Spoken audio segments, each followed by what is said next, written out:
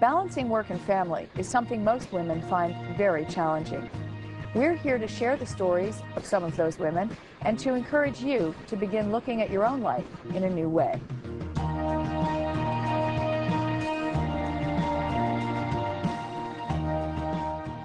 being a mother was something that I always intended to do this lifetime. It hasn't come at the time and the way that I thought that it was going to happen, um, but I think that it could not have been any better for me. So explain that a little bit. Well, I think that, like probably many women, I expected to sort of have a family the traditional way. Uh, finish school, get married, have children, and go on with my life and my career.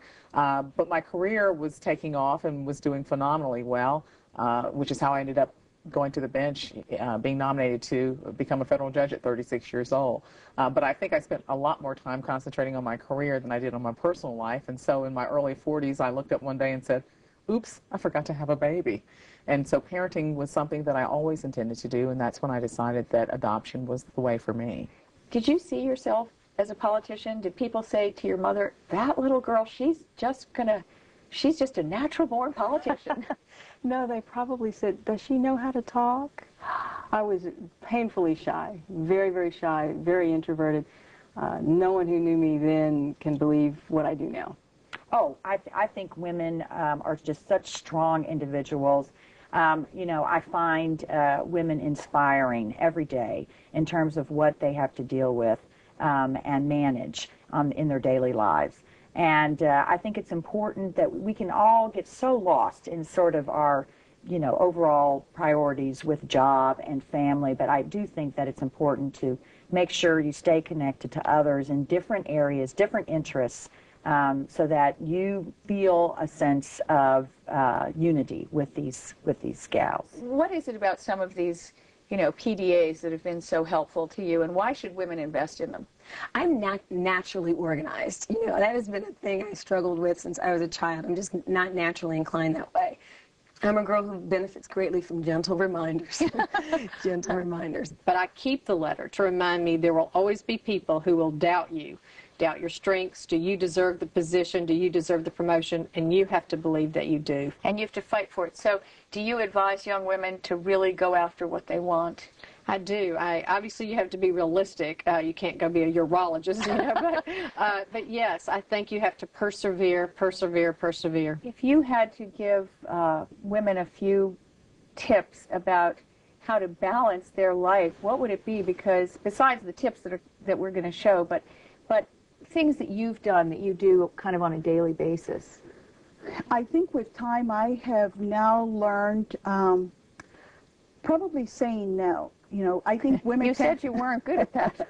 I think women are. We tend to be our toughest critics, and uh, sometimes uh, I think I should do more. You know, especially when I when you meet some of the women that you know you're going to have on your show.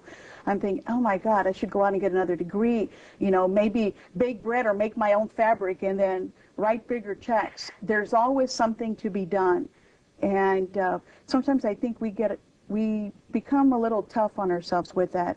And I think it's about thanking ourselves every day for what we have accomplished and saying tomorrow's another day. And your first daughter was born and is a special needs child. How has that challenged you and how has it changed you? When Rebecca was diagnosed, which was about six months after she was born, uh, that was truly the first and I think in many ways the only really bad thing that ever happened to me. But yes, Rebecca did change the way I viewed my profession, change the way I structured my commitment to it, although it didn't lessen my commitment to it. In fact, I was very grateful to the fact for the fact that I had this career, this profession that I really liked and that was deeply absorbing.